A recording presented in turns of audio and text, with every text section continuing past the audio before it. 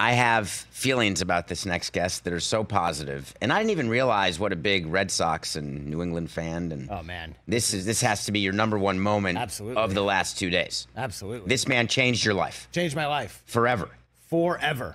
When you win a World Series after never having won one in almost forever, forever. the rest of time, That's it. he could do anything. Terry Francona could do anything. He could do anything, and he's done everything. Tito, thank you. Love you, and you're a beautiful Thank bald you. man. Thank you for coming Ah, thank man. you. Is there anything better, Terry? Welcome to the Rich Eisen Show. You're stuck with me. People don't know this, but as president of the Marlins for all those years, Terry and I have known each other since 1999, 2000. And I'm pretty sure when we've spoken, we never thought that we'd be speaking together on the Rich Eisen Show, which is amazing and lucky for us and me and the audience. I was just last night talking to Josh Beckett. And guess what? We were talking about you. Uh oh, my ears were burning. Your ears must have been burning what you were able to do in corralling to win a World Series. I think that the most underrated thing that people don't get is the role of a manager. People, because you have to explain your X's and O's moves. But to me, when I'm evaluating managers, that's about 2% of the equation.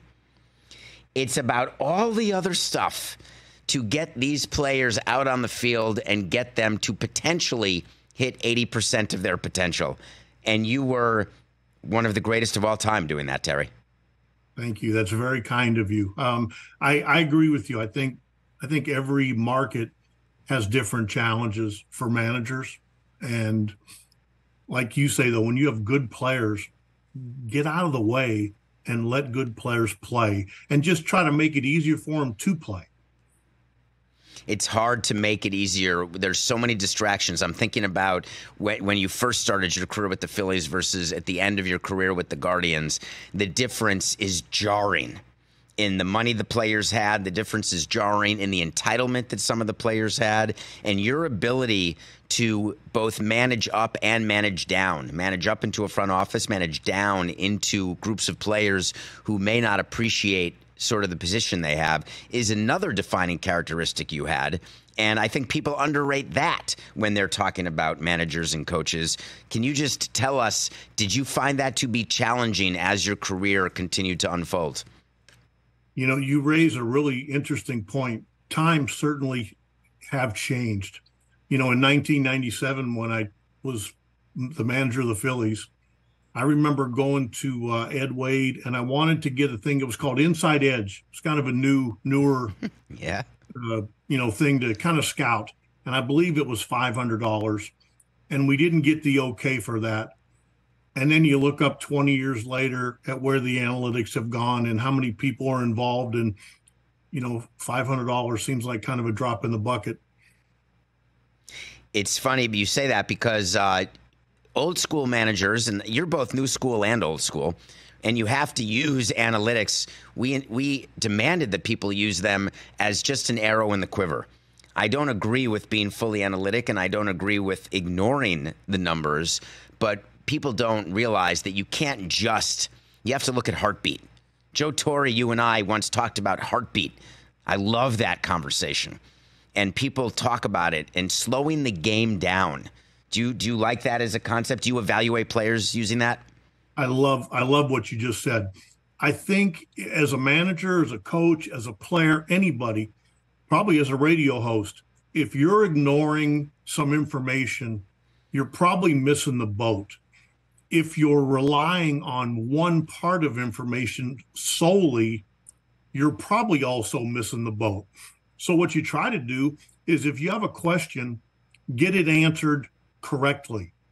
And the best way to do that is by being well-rounded and using your eyes, using, you know, your brain, using technology, using video, and never forgetting for one minute that players are human beings. One thing that you and I have not spoken about, and I want to bring it up just ever so briefly, uh, was what happened with Trevor Bauer. And I don't mean after he left you, I'm talking about on the mound. One thing that I have talked about constantly with players over 18 years is understanding the chain of command, understanding when to make an issue. Because I didn't want to tell players to shut up and dribble, but I wanted them to understand where they can decide to not shut up and not dribble. And on the mound, when you're being taken out of a game, that doesn't strike me as the time to do it.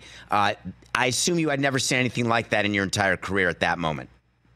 It really stunned me. As a matter of fact, I wasn't sure. I thought I saw it, but I was like, there's no way that happened. and you can imagine, and Trev right away knew that he probably had gone a little too far. And as you can see in that picture, he's trying to explain to me, and I'm I wasn't having any of it. I said, "We'll we'll take care of it back in the underneath behind the dugout." So that's what we did you know, no one could have projected how that would have gone with Trevor. But one thing that you commanded was respect. And when the Red Sox were heading to their first World Series in 04, I, I know the pressure. I know what happened in 03 to the benefit of me with the Marlins, and we beat the Yankees when you guys lost. Unfortunately, it wasn't your team, it was the Red Sox at that time.